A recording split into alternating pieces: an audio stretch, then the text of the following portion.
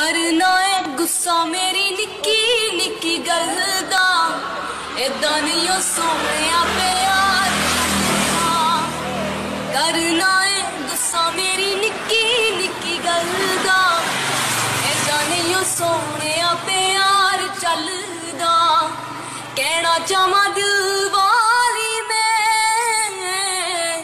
ਦਿਲ ਦੀ ਦਿਲਾਂ 'ਚ ਰਹਿ ਜਵੇ।